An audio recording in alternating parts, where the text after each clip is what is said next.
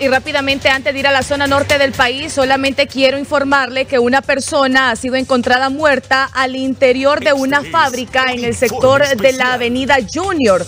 Supuestamente la persona, esto lo brindamos como un servicio social, eh, tenía problemas con el alcoholismo y lamentablemente esta mañana ha sido encontrado muerto, ha fallecido. No sabemos aún el nombre y estamos al tanto para podérselo brindar.